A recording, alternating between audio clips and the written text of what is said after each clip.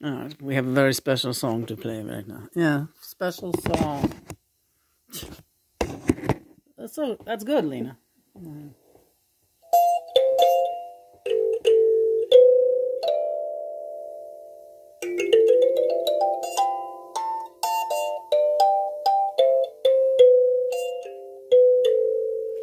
Let's make the most of this beautiful day.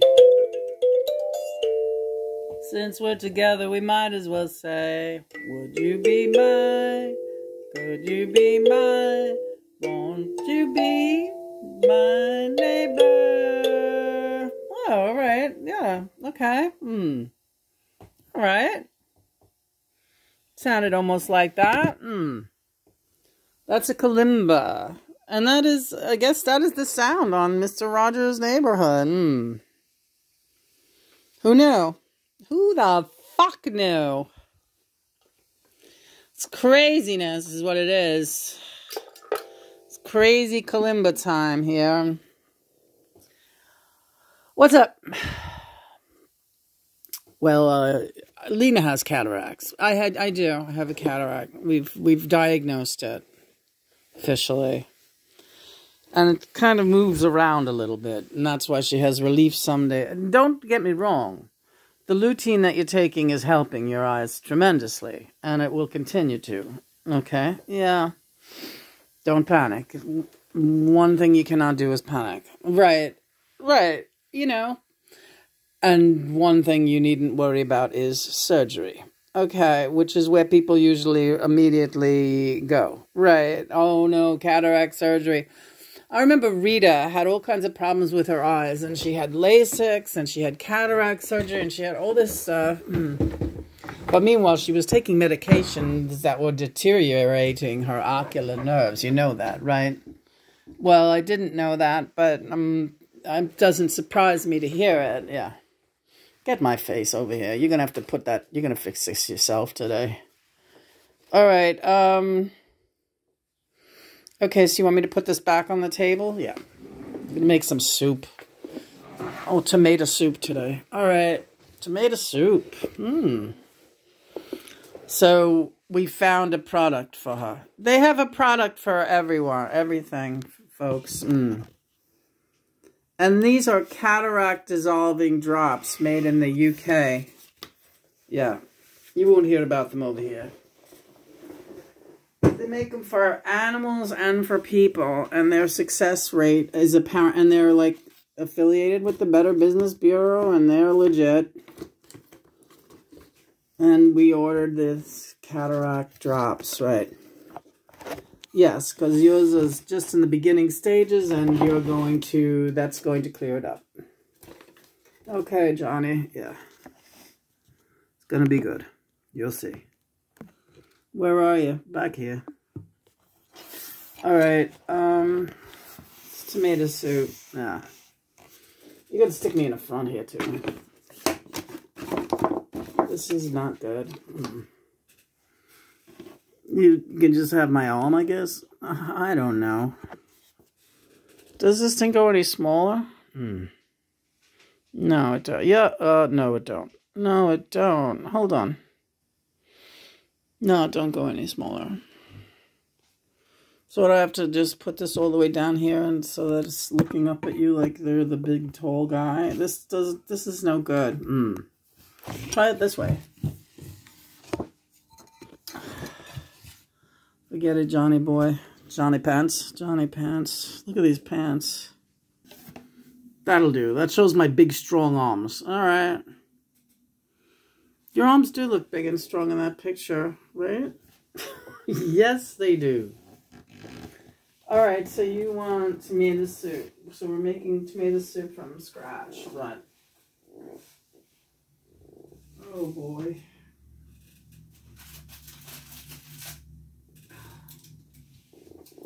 I don't know if this is the, the last of them tomatoes. No, you got more. So what's up? Nothing. We got a nice day ahead, right? And uh, I want you to do very little. And we're not going to eat very much, okay? You know, we have a lot of leftover cornbread, uh, spelt bread, or whatever kind of bread that was. Teff. Teff flour. Mm. We made a bread with teff flour yesterday. The birds are going ape shit for this bread. Mm. Well, it's an ancient grain. Mm -hmm. T-E-F-F, right. And it is uh, highly assimilable. It's a complete protein, right, in itself, right. It's one of those grains that's a complete protein, right. So mix that with a couple of other flours, right? And some uh, coconut oil and and uh, oat milk and a couple of eggs, and we that's a complete meal. So we have a lot of leftover bread from yesterday. And now we're just making a soup. Yeah, if I could open this tomato box, I'd really be on top of the world. But it's just not possible. She has terrible arthritis in her hands. Yes, I do. They're very bad this day. Yeah. It's that cold winter weather. Affects the joints. And you can take as much stuff as you want. It doesn't seem to help. Hmm. So, anyone who's not going through that you must be going through something else because it just wouldn't be fair.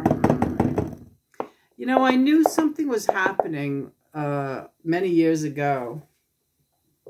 It was just another one of those great instances where I would say it to my mother, like, why do I tell this woman anything? I said, there's something wrong with, with my hands. What? There's nothing wrong with the hands. Your hands are nice. I was like, no, no, there, there's something wrong with them. They there are days where they they don't obey me. They don't do what I want them to do. They just completely freeze up and they don't behave. They weren't they, they weren't painful yet then. Mm. Now the pain has settled into the joints and I have to continually massage them again, I remember my godmother went through this, and she would explain to me how bad arthritis in the hands could be. And I really sympathized with her then, and I certainly empathize with her now. My mother would just say, no, everything is, your hands are fine. Everything was always fine.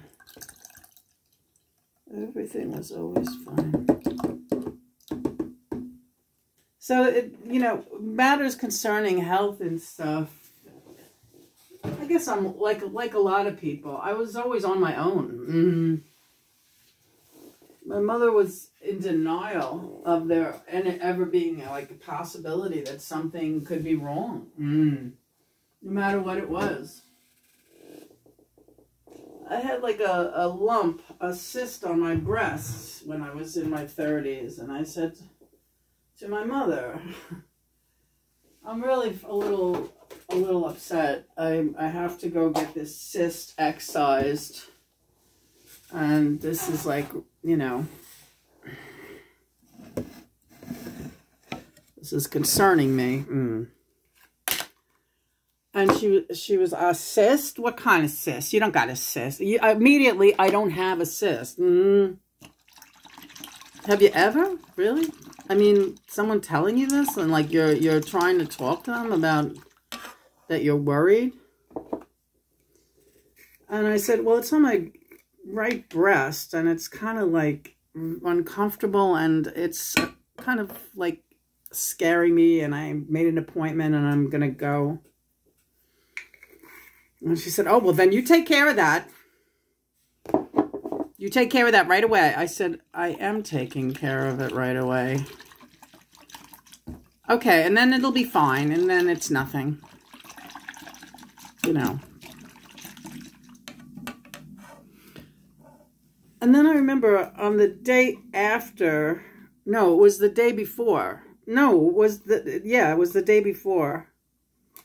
She calls me up in my office and she says, I should go with you to, to the cyst thing. I said, what? You should go. I said, no, Chris is going. Chris is taking me. Why do you want to go with me all of a sudden? Well, I just, I should. I'm the mother and I should go. I guess because she, and I figured it out. It's because all she was thinking about it and she wanted to be able to tell her friends. This is exactly what she did. She wanted to be able to tell her friends, I helped my daughter through this thing. Mm -hmm like she thought she gave it some thought and she was like gee i guess that is kind of a big deal. And if it is something and she's really got breast cancer i want to be able to tell everyone that i've been with her with it through the beginning of it. And i know that's what i know my mother well enough to know that that's the way her mind works. It always has to do with her. Mm. It's so insincere everything right down the line is how it's going to reflect on her and make her look. So I said, well, if you want to come, I said, you know, you're way in the other direction. We're going, you know, it's right by our house to get on the, and she was like, well, you come and get me. I'm the mother.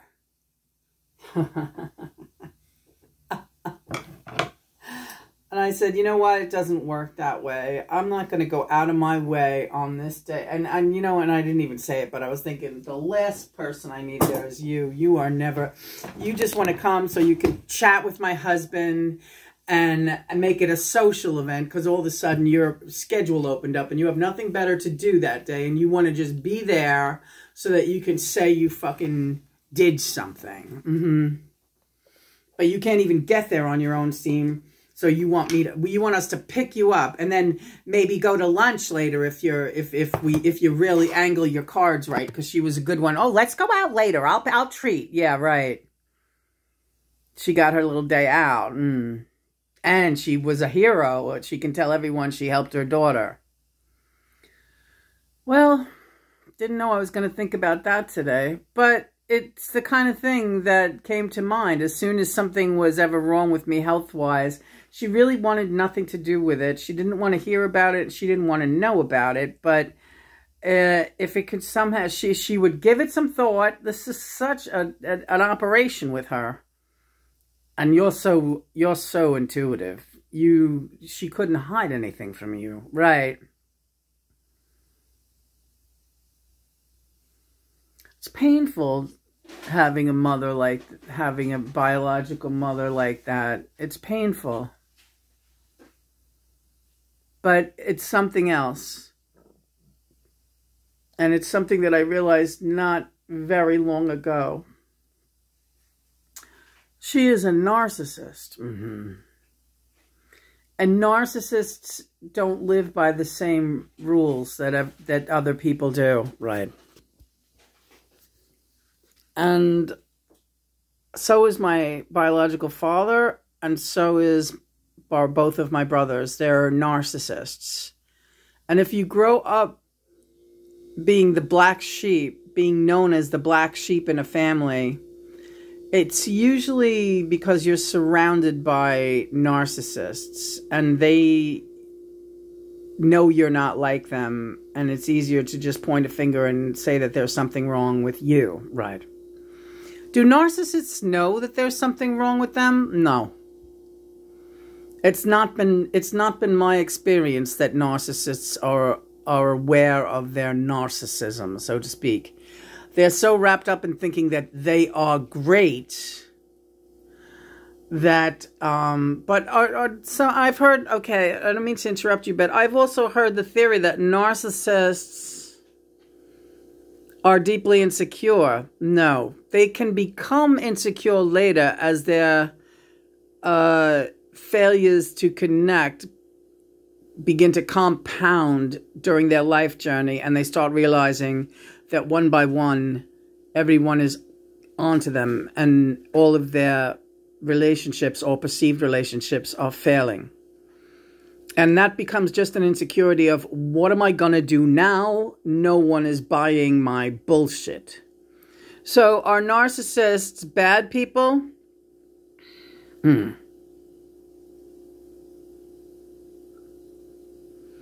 Bad is a strange word to use to describe people. Do narcissists have souls? They do, but they are deeply, deeply compromised and damaged by many lifetimes of wrong-headed decisions. And it's the it's the luck of the draw. You're either you're either one of these souls that's really going to seek enlightenment. Yeah, yeah, yeah. Okay. You're either really going to seek enlightenment and and want this for yourself. Mm.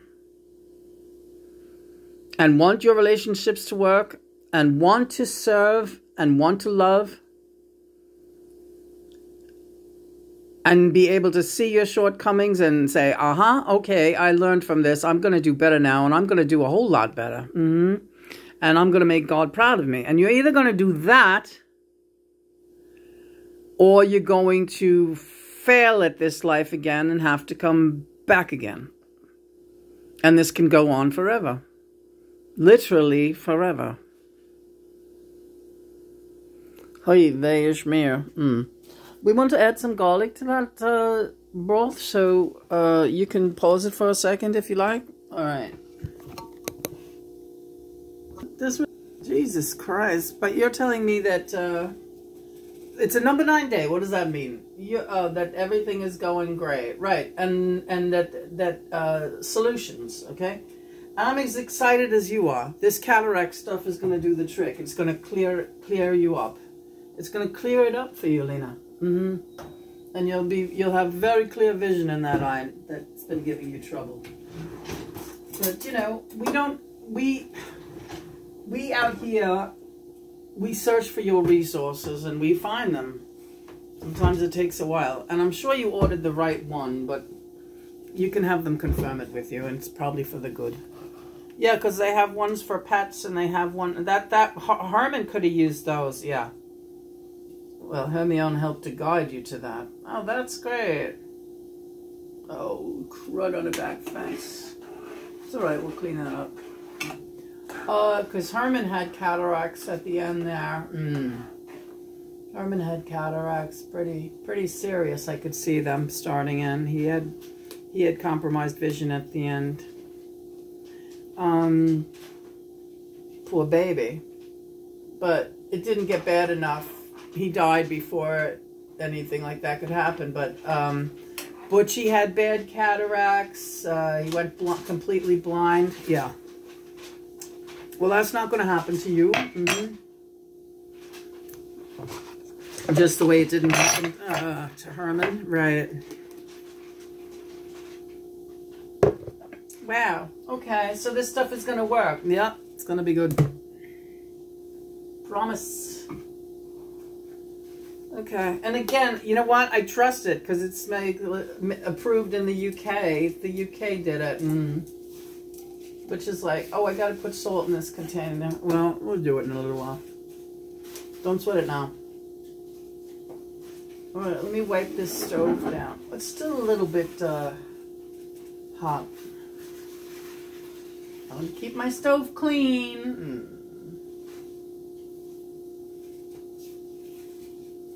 So today, I'm doing to show off your breads. All right. I don't know what there is to really show off, but these are the breads we made yesterday. Mm. There's a ton left. When we gave some to the birds this morning, they went cuckoo for Cocoa Puffs. Mm. We gave it. We gave them a nice bunch of uh, breadcrumbs from these. This is the this is the uh, teff flour bread. Also, we use tapioca flour in there, which is very good and makes a good consistency. We used monk fruit, which is healthy for animals. Monk fruit is a healthy uh, sweetener. If you bake with xylitol, do not give that to your animals. That will poison them. In fact, don't bother using xylitol. Now that monk fruit is available and even cheaper, there's no reason to use xylitol. Xylitol is a sugar alcohol, but it wreaks havoc on um, the system of animals. And I'm led to think that it can't be the greatest thing for people either. Honestly, you're right. If it's going to, like, kill your dog. Why why bother with that? You know, even if they say it's safe, I would stay away from xylitol and go strictly for the monk fruit sweetener. Hmm. Again, it's cheaper and tastes more like sugar. Hmm. Tastes more like sugar. Um, okay, what's going on now? Not a hell of a lot. Play a little piano, I suppose. Alright. It's that kind of day. Yeah. You're right. Alright, let me figure out what I'm going to put this soup in. Mm.